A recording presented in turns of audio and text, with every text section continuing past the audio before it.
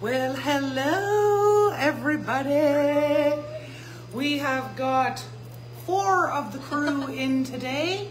We've got Mr. Boyer. He is the newest member of our pack, a little four and a half month old baby dog who belongs to Nicole. And then, of course, we've got the birthday week boy.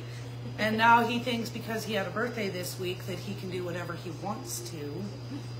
So, yeah, he's being, uh, well, he's just going to probably snuggle up and fall asleep right here. And then you know how heavy he gets with his five pounds.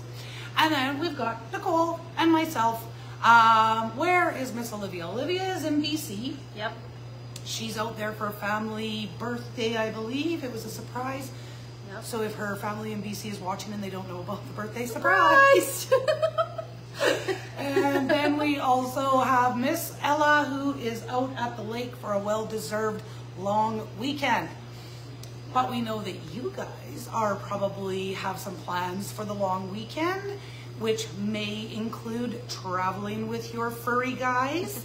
And so what we wanted to talk to you about today is kibble storage as well as what is our best option when it comes to bowls for the furry guys. Because there is bad options you guys and there are great options. And we always want we always want great options because anything in our pet's life that we can control that can contribute to their health and well-being we want to do.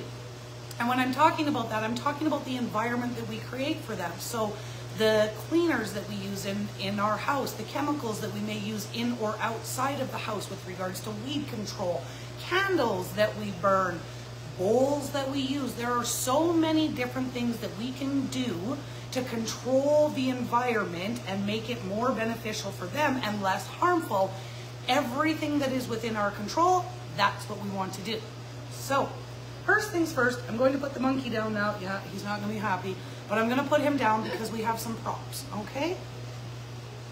So first things first, you guys, when it comes to storage for kibble, and you have probably, if you've been with us for any length of time, you have likely seen that we have talked about we want absolutely no direct contact ever with kibble and plastic. This is a big no-no, you guys. So if you are storing your food, the best, and, and let me back up. There are many pet supply stores or many stores that sell pet supplies that sell those great big plastic pet food containers. Here is why we do not want to put kibble in direct contact with plastic. Kibble is fresh in the bag until the minute that we crack that bag open. As soon as we open the bag, the fats in the food, this applies to kibble, you guys, the fats in the food is exposed to light and air. When that happens, the fats start to oxidize and the food starts to rot. So, first things first, when we open a bag of kibble, traditional kibble, doesn't matter how good or bad the kibble is, we want to be able to use it within 28 days. If we can't use our kibble within 28 days, look for a smaller bag so that you can use it within 28 days. Or if you have freezer space, freeze what you cannot use within 28 days. The other option is keep your kibble in the freezer. Get yourself an airtight glass container that would hold about a week's worth of food or a couple days worth of food and, and pull from the freezer, put it in your airtight glass container to keep your kibble as fresh as possible. This is going to ensure optimum freshness. So we are never going to take the bag, we're never going to take the bag and pour the food into the kibble. Never, never, never. That's a bad idea, you guys. because not only is our kibble rotting as it's exposed to light and air, but because of that fat oxidization, and this being plastic full of other, a host of other toxins and chemicals, that oxidizing fats create a chemical reaction with the plastic, which then leaches the toxins from the plastic into the food. And I'm going to tell you, when I had my baby boy Spencer, and uh, he was a German Shepherd, I always used to say, oh, Spencer's favorite day is new food day because I knew no better. I bought my great big plastic food container at the pet store. I didn't want a big open bag of dog food in my kitchen. And I would come home every day and I would dump that plastic, or pardon me, I would dump that kibble into the plastic container. And Spencer could care less about eating except on new food day. And I always just thought, well, it's new food. He thinks it's different. No, it's because I was constantly feeding my dog rotting food and I had no idea. This is why we talk about the things we do, you guys, because we want to make sure that you do not make the same mistakes that we made. And when we know better, then we can always do better. So, if you have a plastic container that you have been keeping your kibble in, but you will not be keeping your kibble in anymore, you are going to wash that out and sanitize it as best as possible. Unfortunately, because plastic breaks down over time, there is tiny pores and crevices that you will never be able to clean, which is why that rotting and chemical leaching happens. Take your entire bag and put it right in, this is a bad example, you guys, because this is a very small plastic container, but take your entire bag, put it inside, making sure that you keep this bag as sealed as possible. Keeping your kibble in a cool, dark place is best, but keep it as sealed as possible to prevent as much light and air from getting at it as you can. And then put the lid on. The bags that pet food manufacturers make for our food already has preservation techniques built into the bag. So the best thing we can do is keep our food in the bag.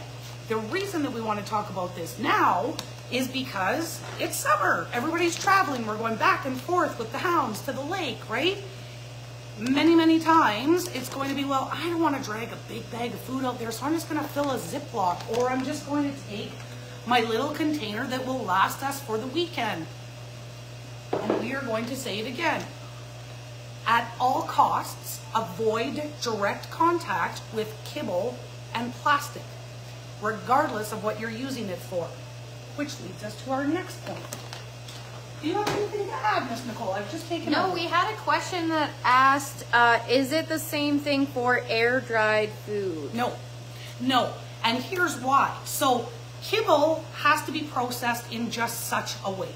Um, and we all know that that is what is referred to as the extrusion process. So when kibble is made, for those of you who may not know, when kibble is made, the raw ingredients, which would include the meat and the vegetables and all of the things, the first step in the process is to cook this into a big slurry, a big soggy wet stew of ooh. Sounds really gross. it, it sounds really gross. And honestly, if you saw some of the information out there about what happens in these kibble manufacturing plants, you never feed your dog day. kibble again. Another Ever. day.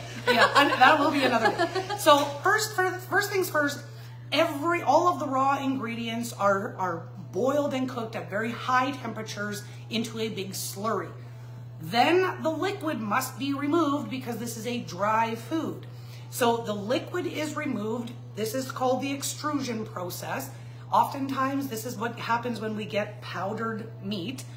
And then the things are the starches are added to make the the kibble into its little pellets.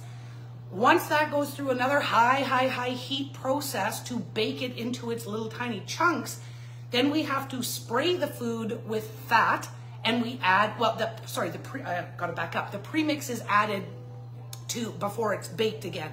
The premix is where we're adding in um, vitamins and minerals that get cooked out in the first time. And then the food is sprayed with fat. So an air dried food goes through a very different process to remove moisture and fat is not sprayed onto it. So air dried, freeze dried, dehydrated, it does not apply to those foods because they don't, even carnivore, which is an air dried whole food nugget, there is no additional fat sprayed onto this. So there's very different rules that apply to this when it comes to storage and how long it'll last. That's another TikTok. But do Or- we do we still recommend plastic for that? no, no, and that and so I I wouldn't recommend plastic for you or your pets. Um, I have eliminated um, almost every piece of plastic from my house. I went out and I replaced all of my dishes with glass, like a Pyrex glass, because I can sterilize glass. I cannot sterilize plastic. And lots of people are going to say, well, you could just use bleach. I don't want to eat off of things that I have cleaned with bleach, and I certainly don't want that for my dog. You think about how bleach smells for us, think about that times a thousand for our dogs. So now we're going to clean stuff with bleach and then put their food in and then serve. Nah. So no plastic, you No guys, plastic if you can. anything. The thinner the plastic is too, and I know everybody uses sandwich bags. I still do. I try to buy the thicker ones and I am moving slowly to all of those reusable silicone bags. That's what I'm moving to. Um, but the thinner the plastic, like a saran wrap, a baggie, a Ziploc, the more likely it is for those plastics to leach and they are one time use, you guys. So if you fill up a bag, a Ziploc bag of kibble, throw it in the freezer, don't continue to use that bag. You have used it once, get rid of it when it's empty if that's how you're going to do it. Okay? So hopefully that helps. I think that answered the question. Yeah. It said, what if the bag ripped and can't be resealed? So, uh, so in that particular instance, um, like if you're, like if you're talking about your dog food bag Yeah. that has okay, so if you have airtight sealed glass containers, if you have stainless steel containers, as much as you can, I would probably still keep the bag and put it into my container. If you don't have a container, get yourself, like I said, an airtight sealed glass container or a stainless steel container, or if you must, transport that food into a Ziploc bag and put it in your freezer. Keep, though, make sure you keep information about what that bag is, the barcode, as well as, I'm not gonna be able to find it because I'm looking for it, my expiry date, wherever that is, because it'll On the have. top of the bag. Oh, right there, in front of my face. So keep the information that says what the lot number and expiry. In the event that anything happens with regards to a recall or anything, then you at least know the information. Okay, I think you got it all. okay. No well, plastic. Use glass or stainless steel. That's right. So, and we, we'll definitely, we can go through to make Yeah, sure that we don't yeah. miss any questions. So we're going to look at bowls, you guys. Right what we just said, no plastic. So this is, this is a melamine, but at, the end of the day, melamine is plastic. We don't want to have any direct contact with their food and plastic. So if we are serving out of plastic bowls, it is now time to go and invest in some really good bowls so that you know that you are contributing to the positive aspects of their health versus unintentionally negatively impacting their health. Because if we're eating food out of plastic, plastic still has toxins. Um, and so when food is sitting on it, here's the thing too. A lot of people think, I gotta be really careful with raw food because it's raw meat, but kibble is dry food. It lasts forever. And so much for do not disturb. okay. Um, people always think that dry food is it you know it lasts forever and it doesn't matter if it sits out all day. That's the worst thing that we can actually do with it. And especially if we've got it sitting in plastic.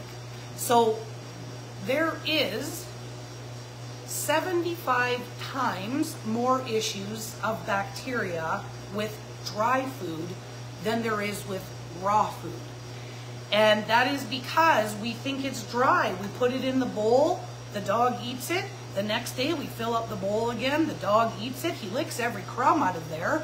So we think that's pretty clean. I don't even need to wash it. But we would probably never ever do that with raw meat. We are going to wash every single dish. So 75 more times chance of getting bacteria from a dry food than a raw food. So our worst, worst option that we never ever want to use is a plastic bowl for our puppers and kitties. We don't want to feed them. We don't want to give their water out of plastic. Get rid of the plastic. If you want to use plastic for you, you can. I'm not telling everybody to go out and get glass, but I'm going to say for your dogs and your cats, make sure that you get rid of any plastic feeding devices. Okay? Next on the list, and this is going to be tough to see, but I'm going to try to show you. ceramic, okay? A lot of people think, well, ceramic, it's kind of like glass. It's not like glass. I don't know if you can see, guys. Uh, kind of. Can you see these tiny little hairline cracks? This is what happens with ceramic and why ceramic comes in as the second worst bowl that we can use. Ceramic over time will again break down. Those little cracks tend to be, oh, there they are, is the best that you can see them, but I don't know if the camera will pick them up. Technically, or what tends to happen with ceramic is those cracks are in the finish. But we can't clean inside those cracks. Again and that's where bacteria just sits and grows is in those little cracks in the finish. Yep. the other thing that can happen when those finishes break down is they can be toxic. So depending upon where you got the ceramic from how old it is depending on what they use to finish it some of those finishing products can be very toxic. And now they've cracked open, the bacteria is growing. It's a recipe for disaster, you guys. So number one, worst bowl, plastic. Number two, ceramic. We're getting into good options now. A silicone bowl is a good option because it can be sterilized. It can't develop those cracks that host the bacteria and it doesn't leach toxins. We just have to make sure that the pupper won't eat his silicone bowl because sometimes that can happen. so there are different types of silicone bowls. A lot of licky mats are made from silicone and silicone is a good option because we have the ability to sterilize it. Um, and it can't leach those icky toxins that can come from a plastic or from a ceramic coating. I like, you know? I like silicone. Silicone, fantastic for traveling, you guys. Zahner has many silicone bowls. Um, I keep one in my truck and one in my car, and then I keep a couple for when we are traveling because who knows where we're going to be. They pack up super small. There are others that we have that don't fold up, but they're the no spill dishes, which are fantastic for Even the vehicle. Clips or to the leash. Clips to the leash if we need. Can you see? Take it on a walk. Yes. All right, our next, this is the second best option, you guys and it is a glass dish similar to Pyrex. We can absolutely sanitize glass. There is no leaching. If it cracks, you're throwing it out. But that is the downside of glass, is that it can break. So if you've got a rough eater, ah, look at that, a rough eater. dog pun? I totally did. I didn't even try. Um, but if we've got a, a, furry guy who's a little bit, you know, aggressive at the bowl or he likes to spin his bowls around or slap them around the kitchen, glass may not be our best option because it can break. And I mean, if we drop the bowl, it can break. And we certainly don't want shattered glass all around the furry guys. Were you going to say something? Uh, no, someone just asked, uh, is silicone not similar to plastic? Is it not full of toxins? Want to make sure you recap It not because it is a food grade silicone. When we're talking about pet dishes, these are food grade silicone. So then there is no leaches, no toxins that can leach from it. If it was a non-food grade silicone or maybe a silicone from I don't know, a store that might rhyme with Wallerbor, you know, or Wallarama. Um, then we can't guarantee the quality of the silicone and it, it's likely not food grade and that is something I would stay away from. So good point because we want to make sure that our silicone is food grade, which is also the case when it comes to our best option for bowls. You guys, the winner. The winner, number one choice out there is stainless steel and you want to make sure that it is a quality stainless steel, 18 point or better, and also food grade. We don't want recycled metals. If you come across a stainless steel bowl and you look at the price and you go, woo, eight bucks, that is not stainless steel. That is not quality stainless steel. And I guarantee you that that would be some sort of metal with recycled metals in it. Stainless steel is not cheap, you guys. It is an investment, but it is the best thing that we can do for the furry guys. Because because stainless steel can absolutely be completely sanitized. Never going to have those cracks. No bacteria is going to sit there. So you want to make sure that your stainless steel is a food grade, high quality stainless steel. And I'm not going to lie to you, it's not going to be cheap. When we find good quality stainless steel bowls, they will be expensive. But it is an investment. It is an investment in their health because in their health because it is part of their environment that we can control. And that's making sure that we've got a good quality bowl. So again, if we're going into some of our stores that rhyme with Waller store or you know those kinds, they do have metal bowls in there, but those will not be stainless steel. I guarantee you that. You can look to make sure that the bowl says that it is a food grade stainless steel, or in some instances, so with these particular ones, the bottom peels off, and that's usually where you'll find it. These, they list that it's food grade stainless steel, so we know it's good quality. But some stainless steel bowls will actually have the grading engraved right into it. So it will say that it's an 18 point stainless steel or better. And they're not gonna be cheap. They're not gonna be cheap, you guys. But it's the best thing that we can do. So Zaner, he eats twice a day. So he actually has eight bowls. Um, his, of course, are a little smaller, so they're a little cheaper. But he has eight bowls because if I don't get to do the dishes every single day, at least he always has a clean bowl. And that is I'm not going to feed him out of the same bowl twice, so he gets a clean bowl all the time. In instances where I've put all of his bowls in the dishwasher, which I like to do at least once a week just to like sterilize them more than what I'm doing when I'm washing them, then I take a Pyrex dish and I mix up his supper in that, and that's what he eats out of is a, a glass, uh, oh my god, Stainless steel. Pyrex. Oh, glass. Pyrex Okay. bowl is what he gets if all of his dishes are in the dishwasher. So, whoop, hang on a second here. I saw some comments. Hello, hello, everybody. I have been neglecting you. Catherine says, I use Tupperware storage containers that keep the kibble fresh. Keep them in the bag before you put them in that Tupperware, Catherine. And Mimsy has the collapsible dish to eat out of. That's perfect. Um, Jill, I love those bowls. I need to pick up smaller ones for the goat's milk and keep. You got the smallest ones there is, Missy, so we can't get them any smaller. However, maybe a little bit. Eh, not so much. Not really. We brought these out too. This is another set. You actually get three. They come in three sizes, small, medium, and large. This is perfect regardless of what you're feeding. Messy Mutts tends to advertise or promote this as kind of like, hey, for raw feeders when you're on the go. Any feeders who are on the go. I use these with Zaner all the time. He eats a freeze-dried raw diet. But when I know he's going to be at the office late and he's not going to be home in time for supper, when I'm making his breakfast, I make his supper, I slap my lid on, and off we go. This is for anybody. So whether you're feeding kibble all the way up to raw, these are perfect options for when you're traveling. If you're just going out to the lake for the night, pack the food at home in the dog's dish, put his lid on it, and you're good to go. Um, so, and sorry, and Jill, these might be a titch smaller than what you got, but not much. That's about as small as they get.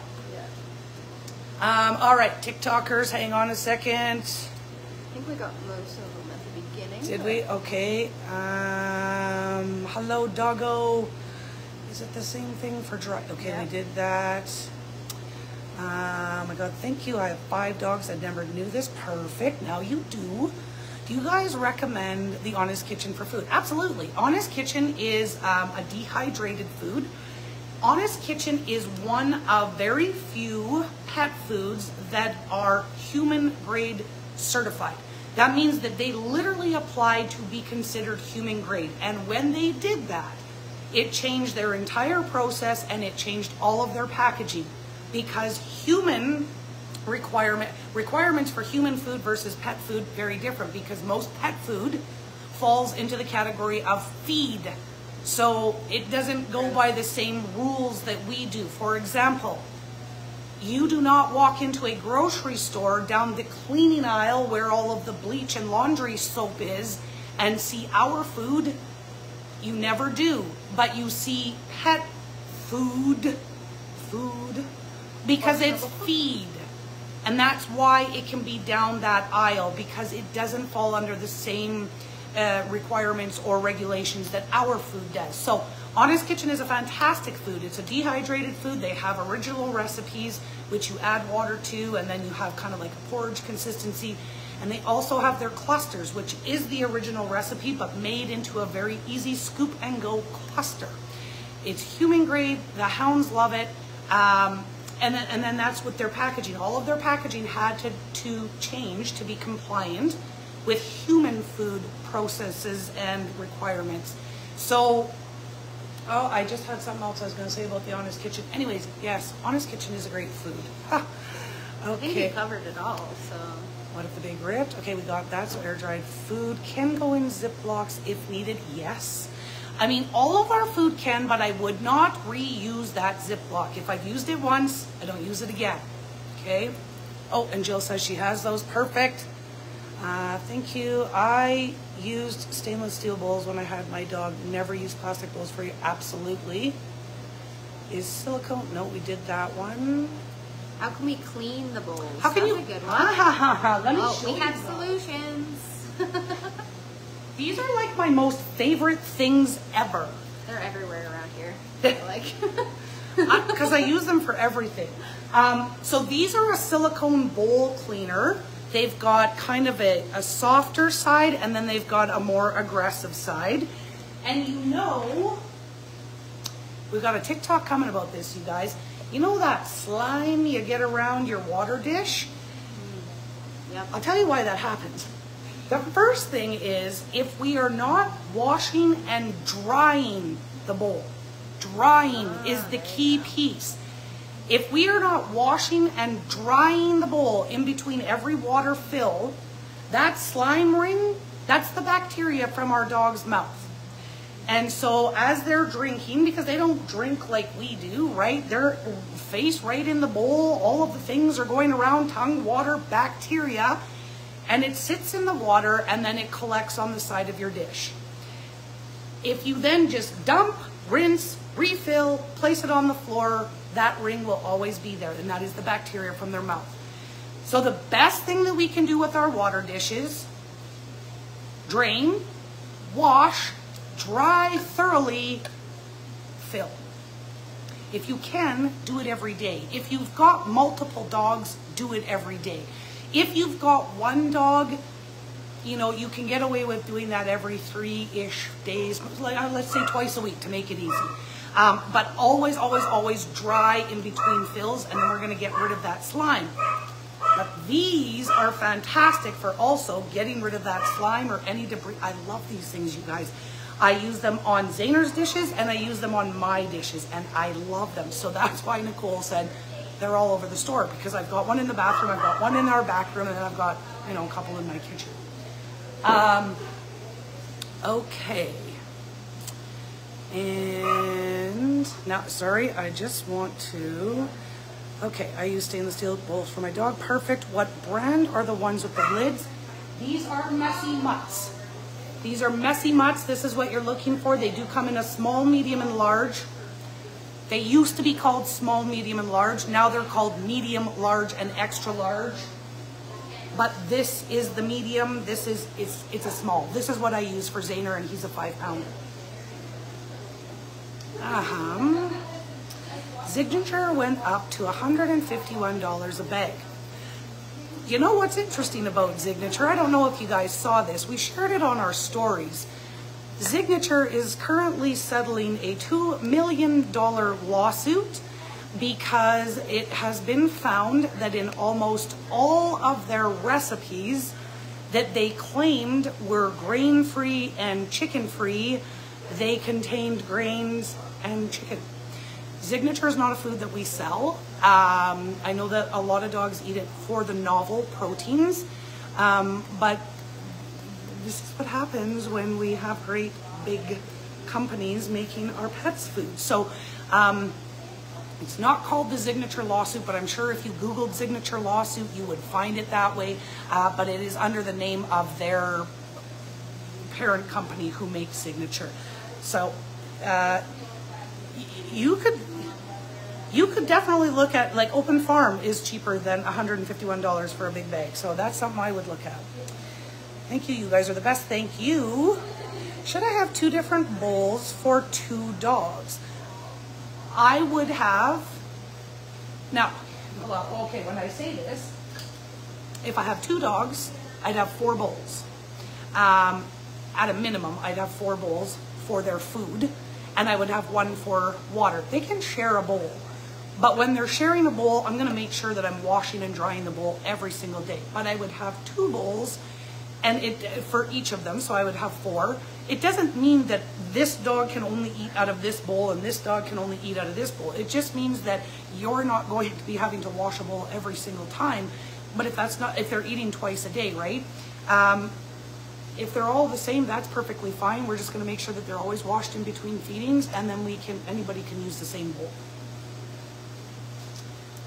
Um, do you recommend Purina Pro Plan? We do not recommend any Purina product. Purina, made by our good friends over at Nestle, who make chocolate bars. Um, we do not recommend Purina. If you go onto Purina's website, they have pages, pages and pages and pages of all of the ingredients that they use.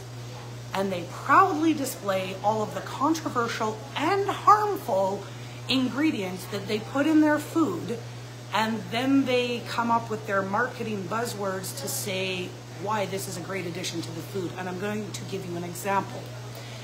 They have BHA and BHT in some of their formulas.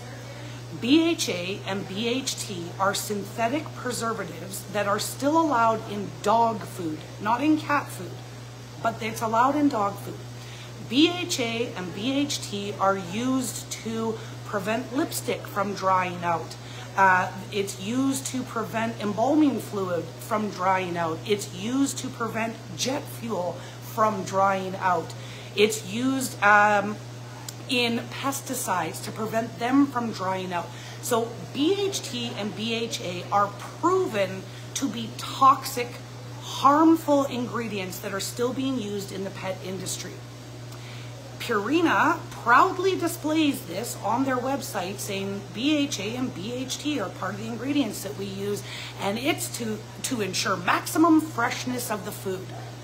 They don't go on to tell you that these, these are synthetic and toxic and harmful and cause organ damage.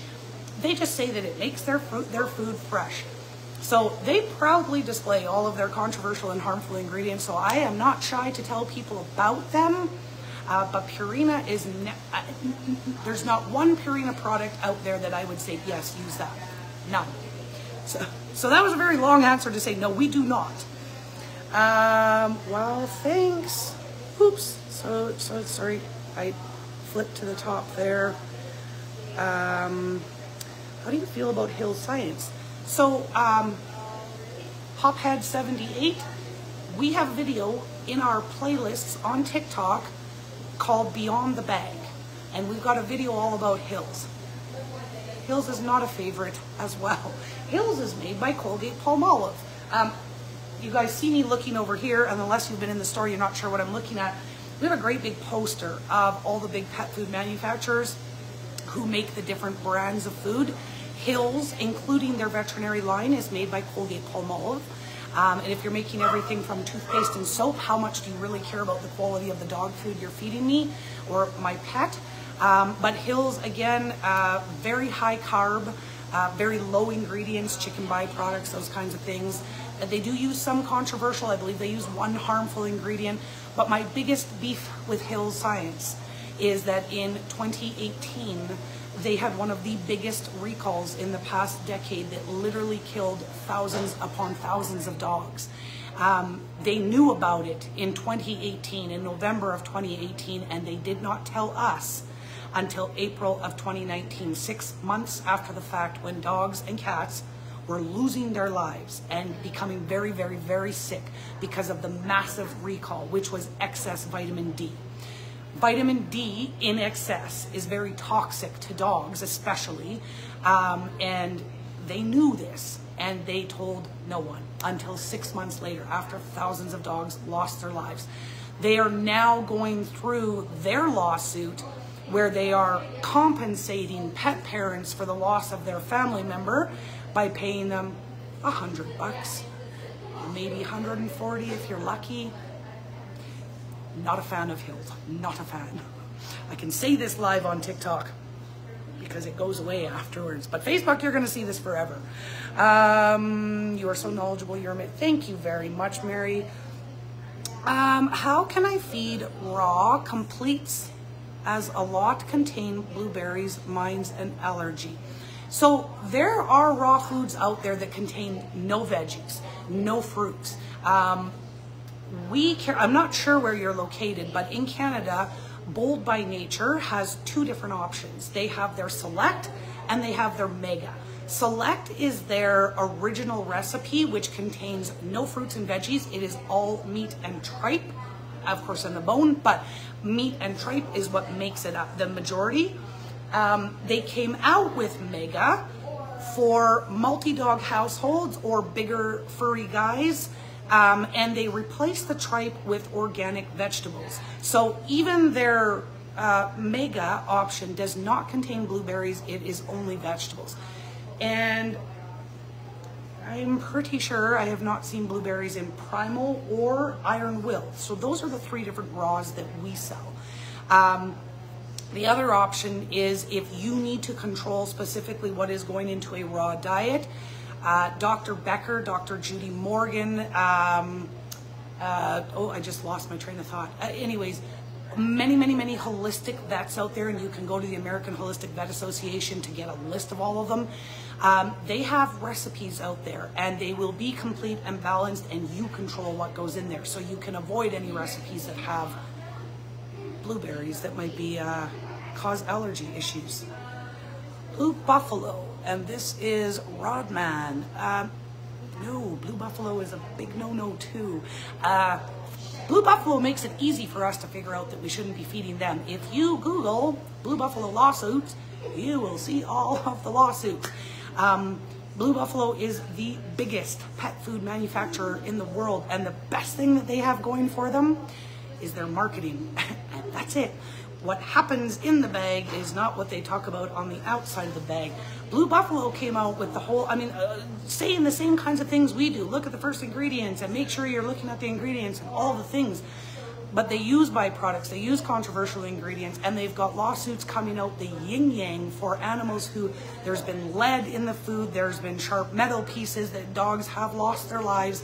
If you Google Blue Buffalo lawsuits, you will see all of the lawsuits that are out there against Blue Buffalo. So not a food we recommend. Oh, oh it keeps doing that. Sorry. Mm. Oh boy, sorry, sorry, sorry. I already do home prepped cooked diet for one with bowel disease, but want other raw. Yeah, that's, I mean, so that's perfect. So you're already halfway there knowing what you're doing. Making sure that when you're doing a home cooked meal, if we're home cooking for the furry guys, it is gently cooked. Because remember, you have never seen a wolf standing outside barbecuing his supper. So gently cooked, not cooked the way we would eat it, kind of that blue rare type thing. I'm not eating that ever. Uh, is Carna4 a good product? Carna4 is one of the best. This is Cash Cash's Jeep Mama. Um, Carna4 is one of the best foods out there for a dry option. It is a raw alternative. It is an air baked whole food nugget. Why do I say that? When we look at most kibble, nah, when we look at all kibble, you are going to see on their list of ingredients, this is gonna be tough for you guys to see, but when we're looking at a list of ingredients for kibble, you're gonna see that salt is usually halfway down the list. Remember, we always, always, always want to see our fruits and veggies before the salt in our list of ingredients. Ingredients are listed in order of size, from biggest to smallest. Salt can only, in normal food, this does not apply to prescription food because in prescription food, the rules don't apply they up the salt to make the animal thirsty, to make them drink more, to clean the organs. That's the trick behind prescription food, you guys. Um, but in normal food, salt can only be 1% of the entire bag. That's why we want to see fruits and vegetables before the salt. because that means that they're actually in the bag and we're actually going to provide some sort of nutrients for the animal that's eating these fruits and vegetables. If they're after the salt, we'd be lucky if there was a whole blueberry in the bag. So always, always, always fruits and veggies before the salt. When we look at Carna4, and now I can't even see you guys. Third last ingredient is where salt is. This is why it is a whole food nugget because we are getting all of the nutrients from the whole foods. Salt can only make up 1% of that bag. So everything that comes before it, we know is more than 1%.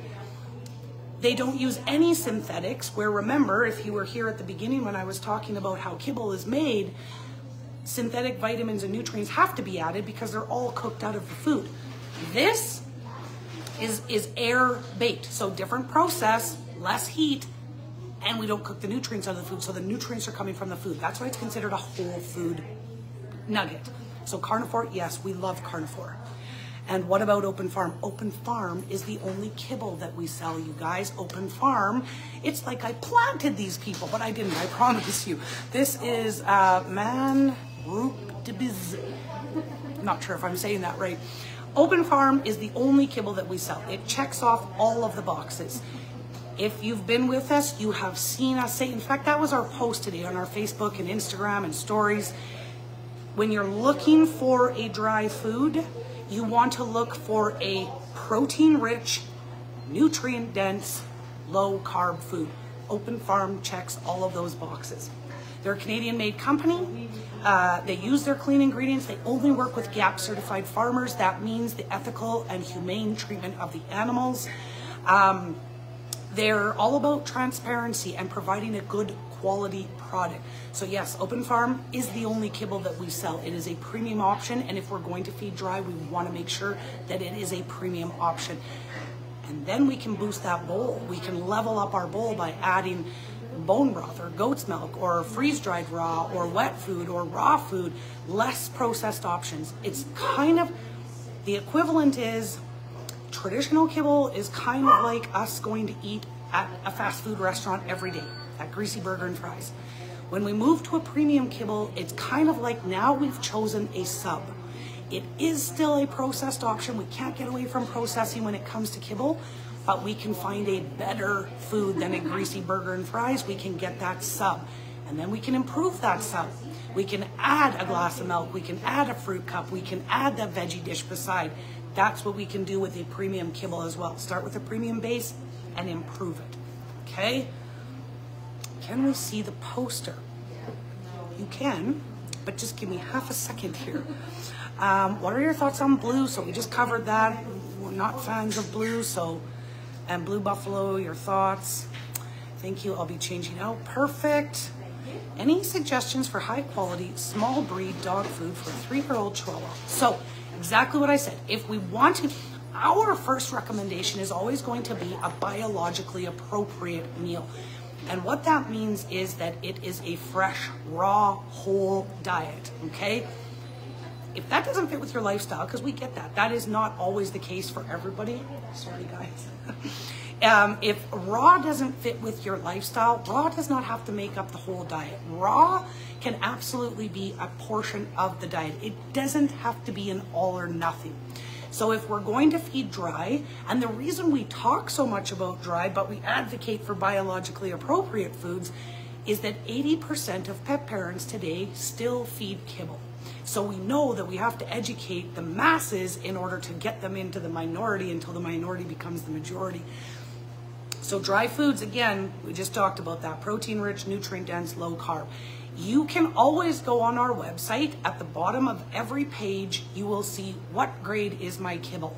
Click there. It's a little worksheet. It is not electronic. You guys can't fill it out online, but you can print it off or you can just follow along. Sit down with your bag of food and you fill out the worksheet and you will assign a grade to your kibble. We only ever, ever want to feed a grade A kibble. B's and C's might have, might have cut it in high school, but they do not cut it for our pets' food. We need a grade A kibble. So you fill out that worksheet and it will give you a score and it will tell you what grade your kibble is. So look for a grade A. And Sobaka Puppy is in UK.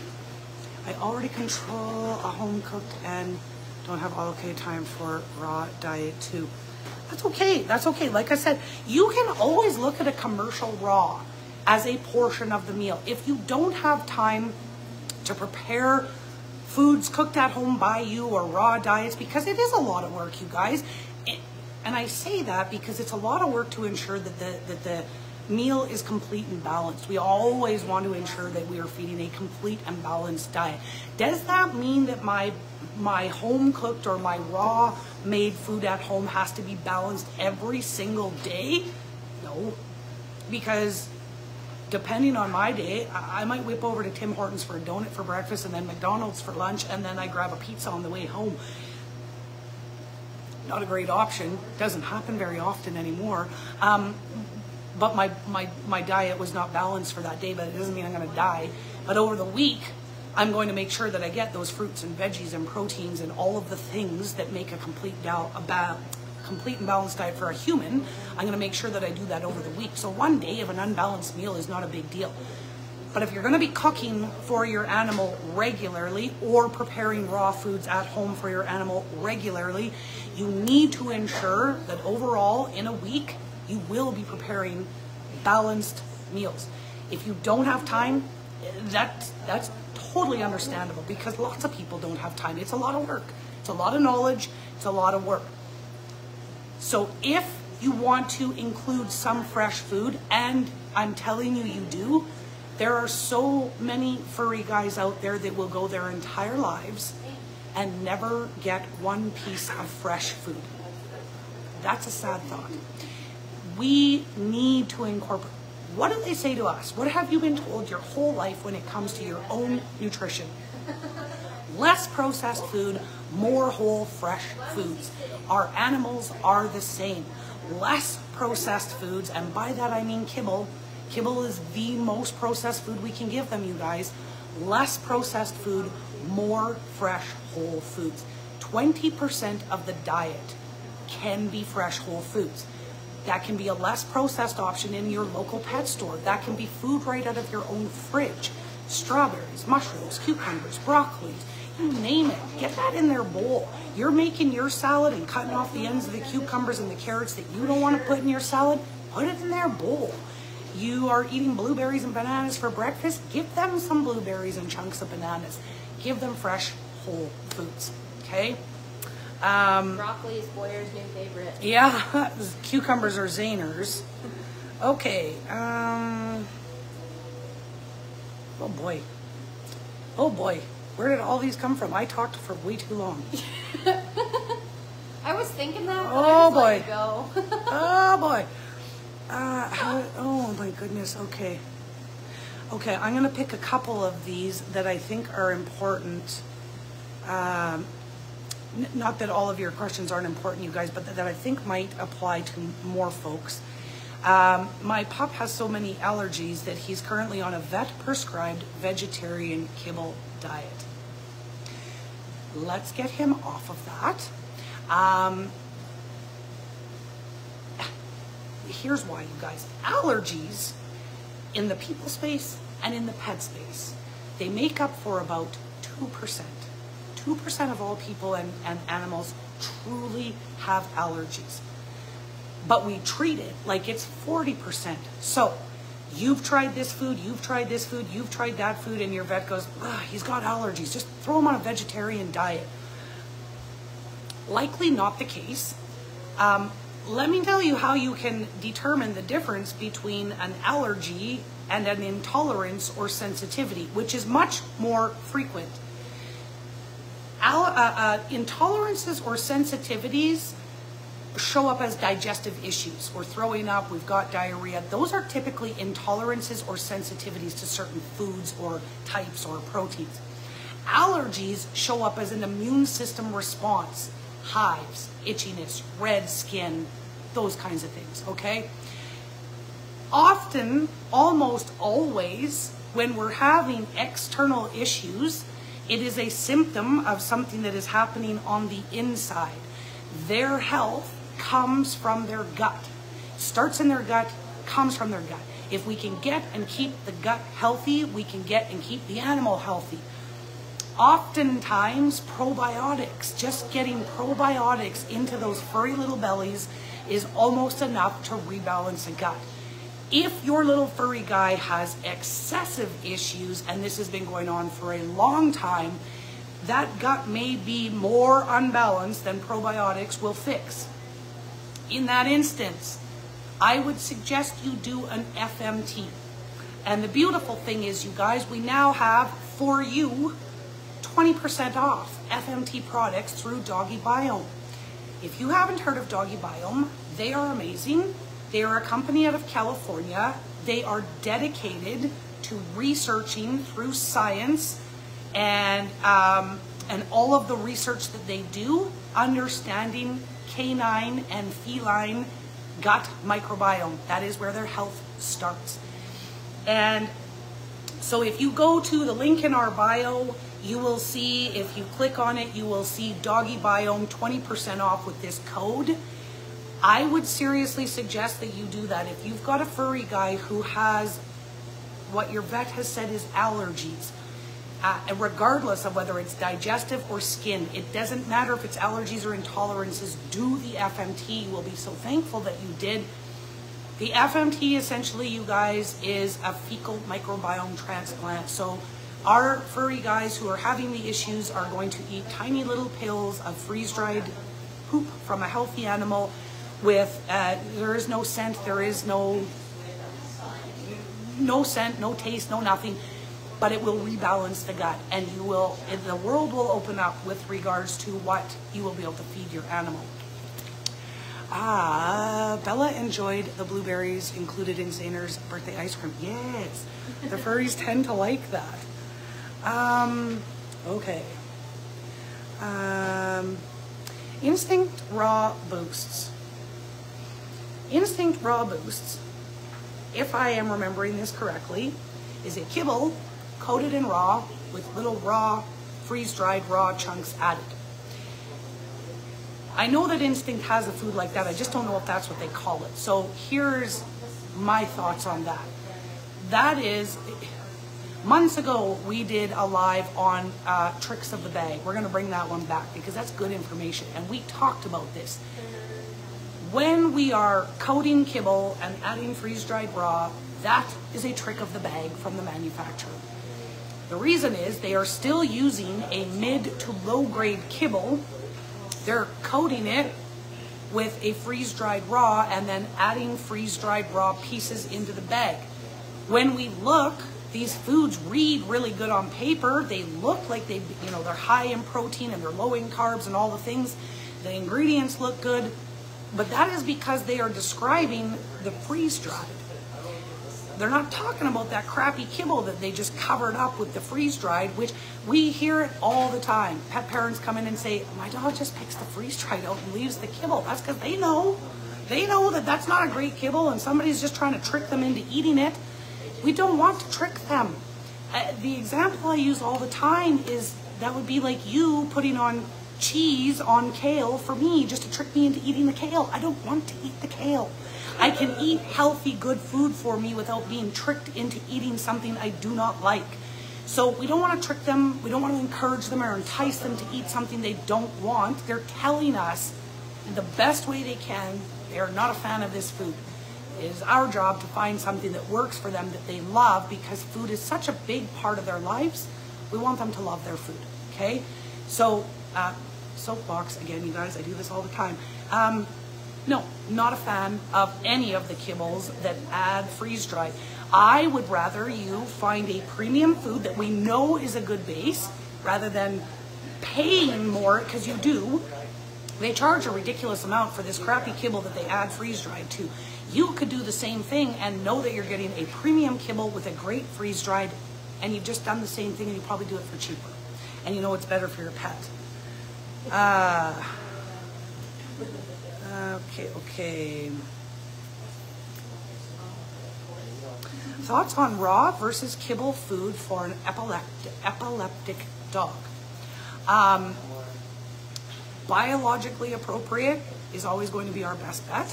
So I would probably say raw. You may be one of those pet parents that have been told that old wives' tale that epileptic dogs cannot have any food preserved with rosemary. Not true. Um, we believe this too. We had a customer, this was the first time we had heard about it. The customer came in and said, My food can't contain any rosemary because that will set off the epilepsy. And I learned months after that conversation that is not the case. Rosemary extract used in premium kibbles is not at a high enough dose to ever trigger a seizure. So if that's kind of where you're going with the should I do kibble, should I do raw, I would say raw is the better option anyways because we're getting rid of all the unnecessary fillers that come with any kibble. But if you're looking at kibble, make sure that it's a premium kibble. Um, open farm, Carna4, both perfect options for a dog with epilepsy. Uh, beef is the one that doesn't have rosemary extract in the car in the open farm, but don't worry about that. When I called the customer to tell her, "Oh my goodness, this was a wives' tale, and we don't have to worry about this," she started rotating all the all the brands and had no issues. The other thing I'm going to tell you, if you have an epileptic pet, two things that I would absolutely include in the meal every time: sardines, coconut oil. Okay Sardines, uh, we we have an, a blog on our website. If you just go on to, again, bottom of every page, Beyond the Bowl, it's called. That's our blog. Type in sardines, and you will see all of the health benefits associated. Benefits. Oh, I thought I said that wrong for a second. Um, you will see all of the health benefits that are associated with sardines, and helping to reduce seizures is one of them. But coconut oil, because of the MCTs, will also help reduce seizures. So you can easily add that to the bowl. Um, and we covered that.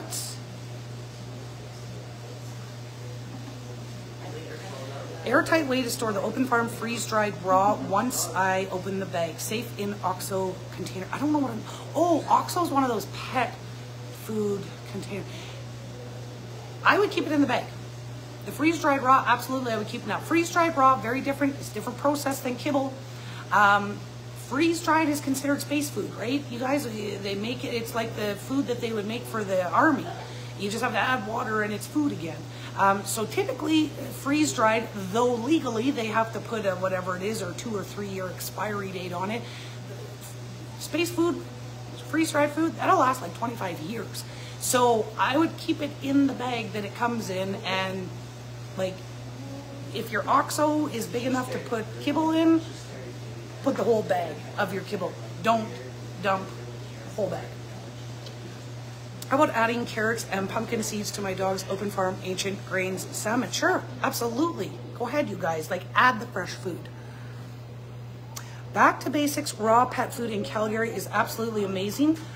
I am not familiar with them, so I'm going to have to take your word for it because I have not done any research on them. Um, my dachshunds love cucumbers, watermelon, and we going crazy over our blueberries in the backyard. Perfect. I love it. Give them all of the vegetables and fruits, not onions. Never onions, never grapes. I shouldn't say all. Lots, though. I had fresh fruits and vegetables and natural treats. Perfect. Um... Canadian brand kibble for, okay, so there's a couple questions about what's the best kibble, what should I feed at this type of dog or this age of dog. Take a look at our Facebook and Instagram post today. We've got blogs on this. We talked about it earlier in this session. Uh, this will be loaded onto our YouTube, or you can always go onto our Facebook and rewatch but essentially you're looking for nutrient dense, uh, protein rich, and low carb dry food. Does not matter who the dog is, how old he is, what kind he is. If we're going to feed kibble, make sure it's premium. Go to our website, check out our what grade is my kibble, so you can always make sure you're feeding an A grade kibble. And this is a good one that lots of people probably wonder and lots of people ask about. So here we go, due to poor connection. Facebook, sorry, I lost you. Um, grain-free versus grain-inclusive food. Grain-free versus grain-inclusive is never the issue, ever. The whole DCM linked to grain-free foods, first of all, was a blog. This is what started this. It was a blog written by Lisa Freeman. her blog has been disproven numerous times by actual scientists and veterinarians. Lisa is a vet who works on Purina's payroll. Purina puts out grain inclusive foods. There was motivation financially for Lisa to put this information out there to make people start questioning. You know what happened? Grain free sales went like this, grain inclusive went like that. Who was benefiting? The grain inclusive companies, the, the companies that Lisa Freeman works for. Anyways, there is no there is no link. This DCM is such a complex issue. There has been no definitive links made, but she came out with her blanket statement that it was BEG foods. BEG is an acronym for boutique, exotic protein, grain free. She could have just said independent pet stores because that's what almost all independent pet stores sell is boutique food, they call it, exotic proteins and grain-free foods. Um, but there is no link. The biggest link or the closest link that they've been able to determine between DCM and diet is a lack of taurine. Taurine is an amino acid that is only found in meat. This is why we need a protein-rich food my personal opinion is carnivores carnivores were never intended to eat grains so by removing them from their diet how are we all of a sudden going to impact their health um, and finally this issue has really only blown up but is starting to bubble over into Canada but it was really only considered an issue in US in the USA and if grain-free issues were causing heart problems among the canine species, it would have happened worldwide. But it only happened in the States. So this was very uh, deliberate. Um, you know, 80 years ago, there was a huge marketing campaign that you never feed your dog uh, table scraps, never feed them leftovers. It will kill them. The big pet food manufacturers of the day went to great lengths. Might not have been, sorry, it might have been 60 years ago. I think it was 60 years ago. Great lengths to do this big smear campaign. Why? Because people were starting to feed food from their own home and pet sales were starting to go down and they went, holy crap, we gotta, we gotta stop the drowning. We better tell people that fresh food from your own kitchen is absolutely horrendous and unsafe for your animal. And all of a sudden pet food sales went up again because people believed you never feed your food table scraps. And that's, that's not right. They just got a bad rap because we were feeding the wrong scraps. We are cutting fat off of meat and going give it to the dog. If we wouldn't eat it, why would we give it to them? But give them the right table scraps and that is perfect. Um, okay. I have a dog battling Candida, Candida, I don't know if I'm saying that right. I don't know what that is, if that is what it's supposed to be. So I can't help with that. Um, anyways, you guys, uh, I think it has been more than an hour. Not my intended time. I apologize, but that's what happens when I get on a soapbox, which I like to do. Thank you so much for spending some of your Friday afternoon with us. We are here until 6 p.m. tonight. Um, oh, Candida is yeast. Kefir. Kefir then, if that is yeast, mm -hmm. that's what we want to do for yeast is kefir.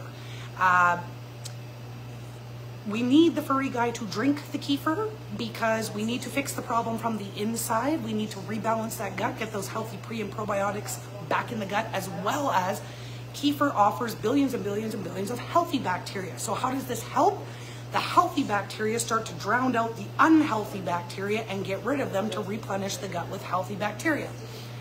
Then if we've got like yeast in the ears or yeast on the paws or a little bit of yeast on the belly, we take a little bit of kefir and rub it where they might be irritated to provide them with some external relief.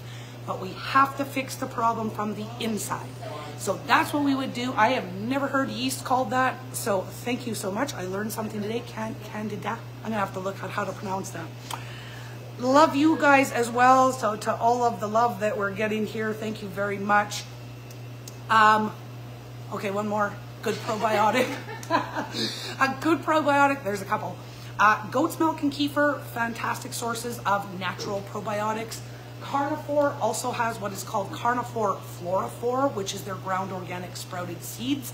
Fantastic source of pre and probiotics as well as digestive enzymes. Um, or Adored Beast, which again you will see in our um, link in bio. we have uh, we sell Adored Beast, and we've also hooked up with them that you can go into our link and you can uh, go right to their site, and they have fantastic probiotics, healthy gut, gut soothe, Fido's Flora, which is like the Cadillac if you're battling a really bad imbalance. Fido's Flora is the way you can go, and you can find that right in our in our link. Okay, Candida, Candida is how I think it's pronounced. Okay, okay, love from Greece, and back at you from Canada. Um, so again, thank you guys so much for spending your afternoon with me. I apologize for rambling on as long as I did.